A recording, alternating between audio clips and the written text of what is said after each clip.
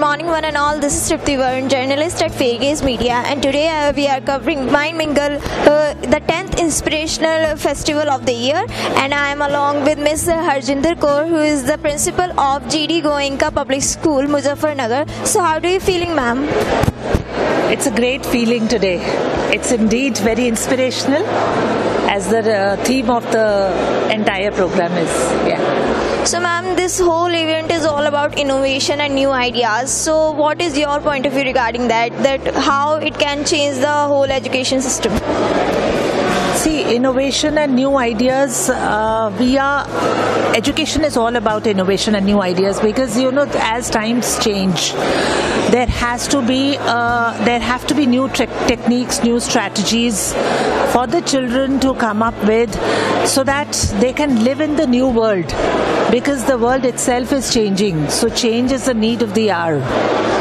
So that is what we help the teachers also to um, we train the teachers towards that so that that is what they give to the students later on.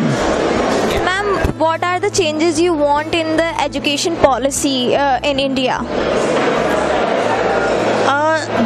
Education system in India mainly focuses on performance. It's fo- it focuses on grades. It focuses on marks.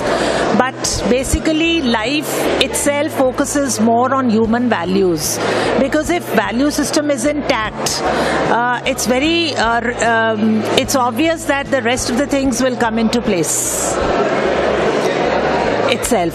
So, as the child grows, and in the present scenario, the children are sharp enough, they are intelligent enough, they understand the world in a better perspective than we had been doing in our times.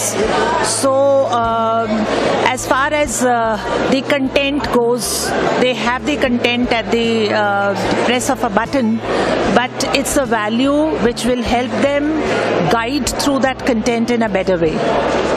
Thank you so much, ma'am, for sharing your wonderful views. So that's it, guys. Uh, this is uh, Miss Harjindar Kaur, who is the principal of GD Goenka Public School. And please like, share, and subscribe our channel, Fairgaze Media.